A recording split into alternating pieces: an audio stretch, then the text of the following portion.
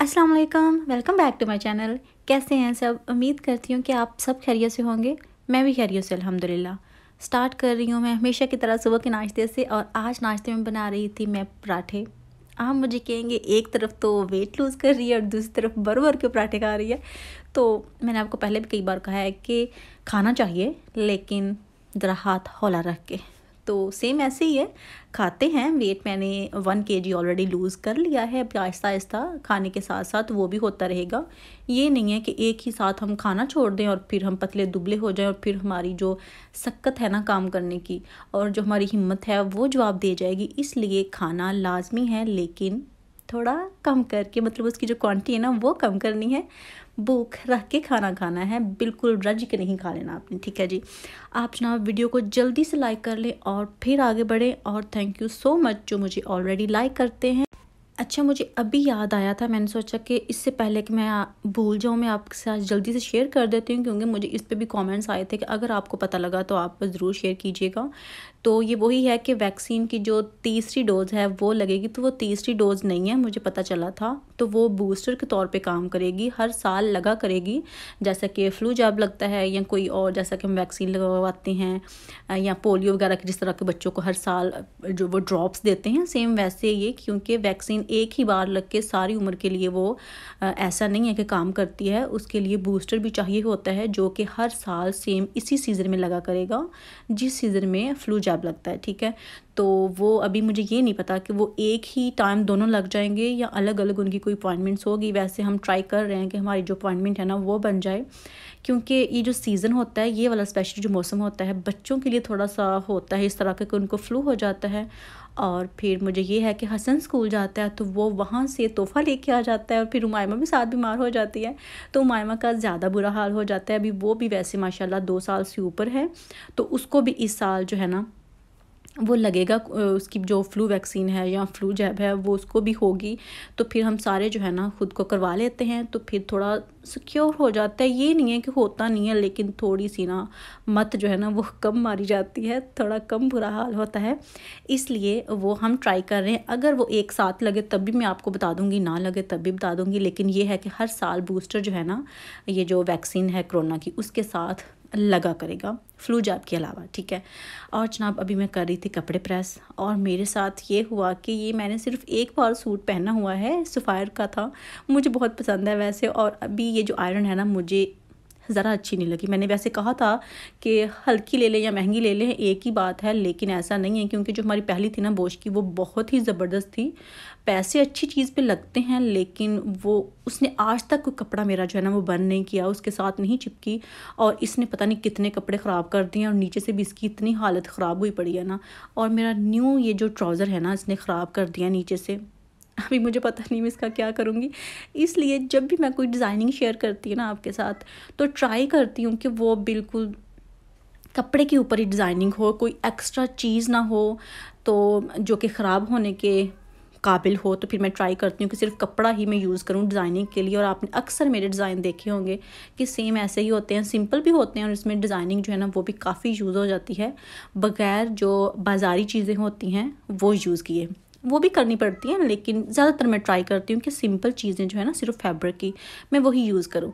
और अभी ये मेरा जो न्यू ट्राउज़र है, ये तो बेचारा बर्न हो गया, मुझे पता नहीं अभी इसको मैं कैसे डिज़ाइन करूँगी या ऐसे भी इसको पहनती रहूँगी, लेकिन थोड़ा बहुत इसको डिज़ाइन करना पड़ेगा एक और बार, क्योंकि ये बिल्कुल न्यू है। अगर थोड़ा बहुत पुराना होता ना तो फिर मैं कोई नहीं इसको रख देती, लेकिन ये मुझे पसंद भी है और न्यू भी है, इसलिए मुझे इसको फिर से डिज़ाइन करना पड़ेगा। और सोचूँगी मैंने क्या करना है। और जनाब बाकी आज मेरे पास बहुत कपड़े थे वैसे आयरन करने के लिए। सारे मैंने किए, बच्चों के किए, अपने भी कुछ किए, कुछ वैसे छोड़ दिए। उसके बाद जी हसन को मैं लेने गई थी स्कूल और जैसे ही मैं उसको पिक करने लगी तो उसकी शक्ल जो है ना, वो थोड़ी रोई रोई थी और मुझे देख के ऐसा लगा कि शायद इसके साथ हुआ है कुछ। मैंने पूछा, क्या बात है? उसके साथ जो मिस है ना, वो भी आ गई और मुझे बताने लगी कि ये इसके चोट लगी थी और थोड़ा सा ना नाक पे ज़रा ज़्यादा चोट लगी थी और ब्लड वगैरह भी आया था तो मुझे बहुत परेशानी हुई। वो बेचारा कहीं बाहर जाके नहीं रोता। घर में जितना मर्ज़ी रो ले, जो मर्ज़ी उसको कह दो या थोड़ी छोटी सी बात पे भी वो रोने लग जाता है, बहुत सेंसिटिव सा है, लेकिन बाहर उसके साथ जो मर्ज़ी हो जाए, वो नहीं रोता। तो मुझे अचानक इतनी तकलीफ़ हुई ना वैसे, मुझे ऐसे लगता है कि जैसे मैं इतनी नहीं हूँ ऐसा कि बहुत सेंसिटिव नहीं हूँ इस बारे में कि अगर बच्चे को कुछ हो जाए, चोट लग जाए, इतनी सी बात पे मेरा कोई मूड इतनी जल्दी जो है ना वो ज़्यादा ख़राब नहीं होता, मुझे दुख नहीं इतनी जल्दी लगता। लेकिन जब हसन को बाहर कुछ होता है ना तो फिर मुझे होता है कि बच्चे वहीं तंग करते हैं, वहीं रोते हैं, वहीं ज़िद करते हैं, जिस जगह पर उनको पता हो कि हमें कोई सुनने वाला है, हमें कोई पूछने वाला है और या हमें कोई आगे से दलासा देने वाला है, कोई प्यार करने वाला है। तो बाहर जाके बच्चा इतना किसी और को तंग नहीं करता। अगर उसके माँ बाप साथ ना हो तो फिर बच्चा तंग नहीं करता। माँ बाप साथ हो तो बच्चा फिर ही तंग करता है, क्योंकि माँ बाप ने नखरे उठाने होते हैं और उनकी बात मान भी लेनी होती है। ऐसे ही मैंने एक बार फेसबुक पे ही थी मैं, और वहाँ मैंने एक बहुत ही प्यारा सा कॉलम टाइप था, वो पढ़ा मुझे वो इतना वो अच्छा लगा, मेरे दिल पे जाके बात लगी कि कोई बंदी थी शायद, अगर मैं गलत नहीं कह रही क्योंकि मेरी जो यादाश्त है ना इस बारे में, वो थोड़ी बहुत कमज़ोर हो जाती है। वो किसी जो होते हैं ना यतीम खाना वहाँ गई थी और वहाँ पे देखा कि छोटे छोटे बच्चे जो होते हैं छः छः माह के, उससे भी छोटे तो वो बिल्कुल आराम से लेटे हुए थे, कोई चींचा नहीं थी, कोई रोना धोना नहीं था, जैसे कि बच्चे घर में करते हैं। तो वो बहुत इम्प्रेस हुई अपनी तरफ़ से तो और जाके उसने पूछा भी कि बच्चे इतने सुकून में कैसे हैं, क्यों इतने चुप हैं? तो वो जो हेड थी वहाँ की, उसने कहा कि जब ये बच्चे आते हैं ना हमारे पास, बहुत रोते हैं, बहुत तंग करते हैं, लेकिन हमारा टाइम होता है कि हमने जब इनका खाने का टाइम हो ये नहीं है कि जब बच्चा रोए तब उसको हम खाने को दे दें, तभी उसकी जो नैपी वगैरह है, पैम्पर है, वो चेंज करें। हमने टाइम रखा होता है कि हमने इस टाइम खाना देना है, इस टाइम हमने उसकी जो नैपी है वो चेंज करनी है, इस टाइम दूध देना है।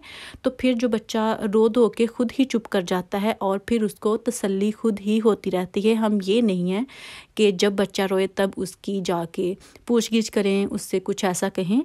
तो लकी हैं वो लोग जिनको बच्चे तंग करते हैं और उसकी जो बातें हैं, वो भी पूरी करते हैं। और ये बात मुझे इतनी अच्छी लगी थी कि ये सच है, क्योंकि बच्चे किसी और को तंग नहीं करते, सिर्फ़ माँ बाप को तंग करते हैं, क्योंकि उनको पता होता है कि हमारी बात जो है ना, वो मानी जाएगी। जब भी वो कुछ खाने के लिए मांगेंगे, जब भी वो कुछ पीने के लिए मांगेंगे, जो चीज़ भी मांगेंगे माँ बाप जो है ना, अगर दे सकते हैं, तब भी नहीं दे सकते, तब भी उनको वो चीज़ देते ही देते हैं। चाहे किसी से लेके ही क्यों ना दें, क्योंकि माँ बाप तकलीफ़ बर्दाश्त नहीं कर सकते और किसी और को इतनी परवाह नहीं होती, चाहे वो बच्चों वाला हो, चाहे वो ना हो, क्योंकि जितनी अपनी औलाद की फ़िक्र होती है ना, शायद इतनी किसी की नहीं होती। होती है सॉफ्ट कॉर्नर हर एक इंसान में होता है, लेकिन किसी और के लिए इतना ज़्यादा नहीं होता, जितना कि अपने के लिए होता है। ये बात अभी तक मुझे याद है और अभी तब से लेके ना, अभी मैं बच्चों को ज़्यादा ही कुछ इस बारे में लुक आफ्टर करने लग गई हूँ कि जी, उनको इस तरह से हमें करना चाहिए वैसे हैंडल खैर जी, अभी मैं बनाने लगी थी चिकन पुलाव बहुत ही प्यारा सा, मज़ेदार सा बन जाता है ऐसे। तो आज मैं वैसे बोन्स वाला चिकन जो है, वो यूज़ करी थी सबसे पहले मैंने। दालचीनी का एक टुकड़ा और साथ मैंने जो ज़ीरा होता है, उसको थोड़ी देर भून लिया था मतलब ऑलरेडी ऑयल जो है वो गर्म था। और उसके बाद मैंने ऑनियन जो है ना, वो इसमें डाले थे और इनको भी थोड़ा सा ब्राउन कर दिया था लाइट ब्राउन सा। और फिर इसमें मैंने चिकन जो है ना, एक फुल मीडियम चिकन था, वो ऐड कर दिया था।